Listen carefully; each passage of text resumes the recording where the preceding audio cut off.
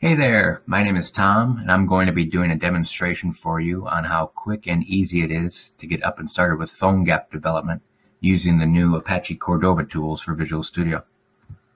Before we begin, you're going to need to have Visual Studio 2015 installed, or if you already have 2013 with Update 4, you can download the extension with Apache Cordova tools. For the rest of this demo, we're going to be using Visual Studio 2015. The first thing we're going to do is start a new project. And this is the template you get with the Apache Cordova tools or 2015. I'm going to call it um, Camera Demo App.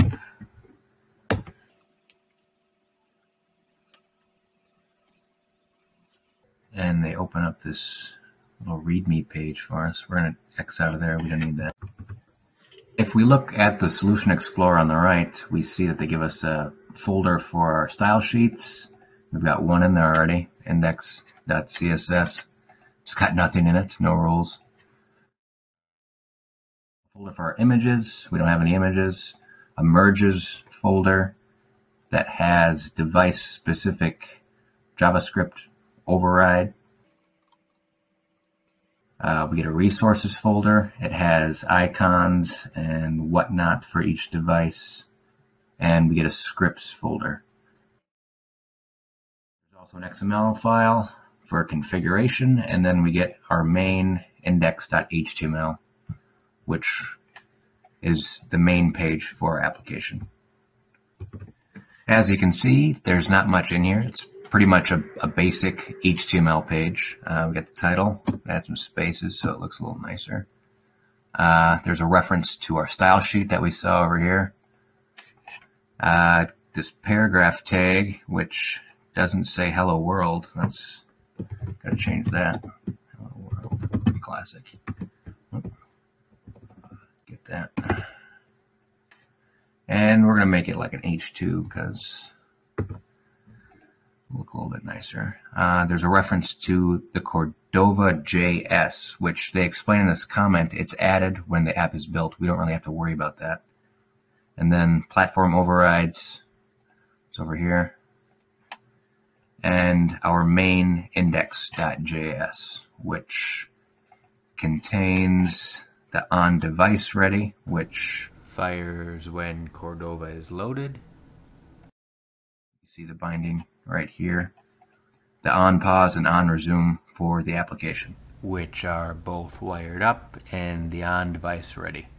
I'm going to go back to the index HTML really quick because I know that I want to add a certain meta tag for the viewport to prevent any uh, pinching and uh, zooming for the app. The documentation says this shouldn't be necessary, but I've learned that it is necessary, so I'm going to add that in. And since we're going to make a demo camera app, I'm also going to make a, a button to press so we can take a picture. Uh, do it an ID of take photo, uh, type button value, take a photo. And that should be good enough. I'm also going to put in a container to hold the photo we take. I'll call it uh, last photo. And I think that's about all we need for that one. In fact, let's make it a paragraph tag so we can default padding. Yeah, that'll be nice. So that's where we'll put the photo we take after pressing this button. And let's jump to CSS. I know that this is going to be uh, black and white text, black text on a white background by default, and that's going to look kind of ugly. So let's change that. Uh, I want the text to be white and I saw a pretty cool blue on the documentation page for Apache Cordova. So we're going to jump there. Where was it? This one, kind of like that. So we're going to steal that. Paste it in there. All right, so that'll make the text kind of nice looking. Before we go any further, we're going to want to open this up in the emulator to make sure we haven't screwed anything up already. We're going to choose Windows Phone. We're going to keep it at the 512. And the Windows Phone emulator usually takes about a minute to open up, but you only have to open it one time. So if you shrink it and you re-debug your app, push the debug button or the run without debugging, it will open up the app in the same instance of the emulator. So that should save you some time.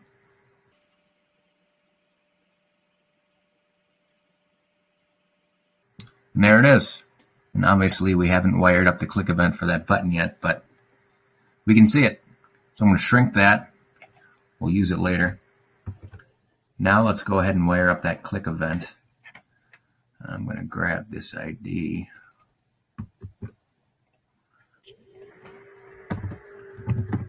I'm going to wire it up inside the on device ready.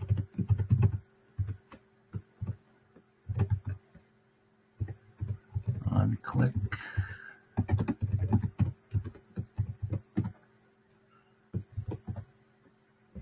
Well, I guess we better keep that up there. And for right now, I'm just going to spit something on the screen. To make sure things are still working. Save it. Let's relaunch it. This should refresh.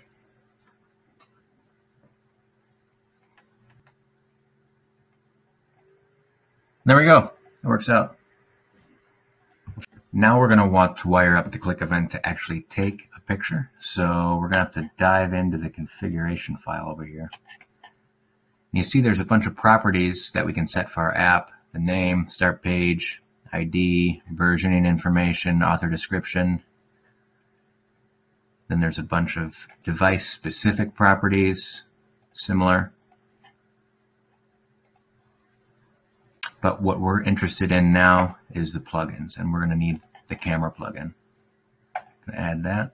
And I wish they had the documentation right here. That would be kind of convenient, but they do not. They force us to go to the documentation page, which we can find here. Plugins, plugins.cordova.io. And conveniently, the camera is one of the most downloaded, so it's on this list. Click right here. And here it is. See all the information about it. It says it is not available until after the device ready event. So it makes sense that we wired up the on click in there. We're going to grab this function header for get picture. That's mainly what we're concerned about. Shrink this.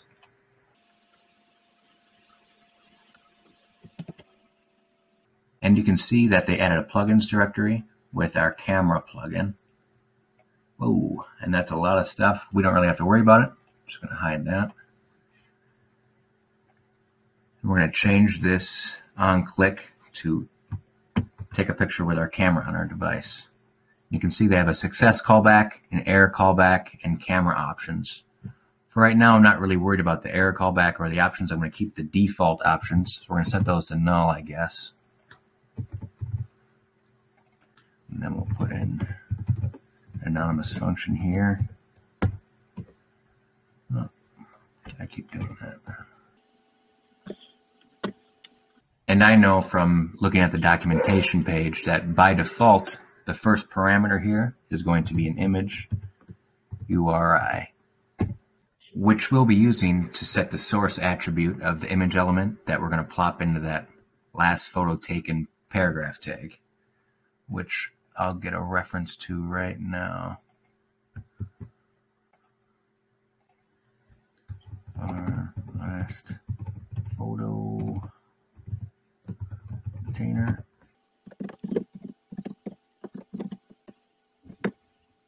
And let's pat the user on the back.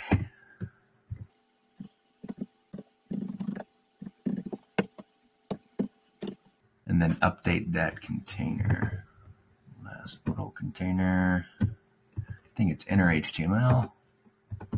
We're just going to put an image tag in there. Image, the source, and then uh, style. We only want it to take up, let's say, 75% of the width of our screen. Close it off there. And then gotta concatenate our image URI. And that should do it. Whoops. We should have used this, not last photo. There we go. Pretty sure that's going to work.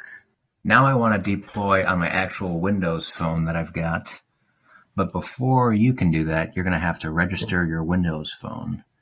And there is this little guide that Microsoft put out on how to do that.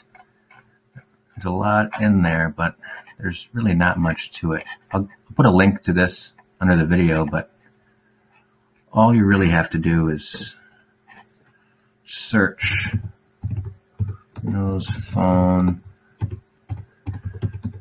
Nope, there it is. Developer registration 81. Click on that, and it kind of walks you through it from there. First, the device has to be unlocked, blah, blah, blah, and you click some buttons. But right now, since I'm already registered, I have an unregister button. Your button will say register. And then that's pretty much it. Make sure you have your Windows Phone plugged in, like I've got here. We're going to switch this to target my device. One thing to keep in mind is that the screen has to be unlocked in order for the deploy to be successful. Otherwise, it'll fail. I'll launch it. This usually takes about 10 seconds.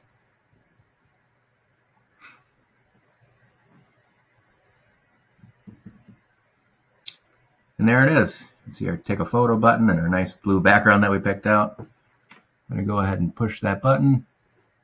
It launches our camera app. To take a photo of the monitor. It asks me if we want to accept. I will. Looking good. All right, thanks. Then you see we put the photo into our app like we wanted.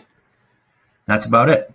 I understand this is a really simple demo using the camera plugin for PhoneGap, but imagine what you can do if you pulled in your favorite JavaScript framework like Knockout or Angular and paired that with something for layout like Bootstrap or Foundation.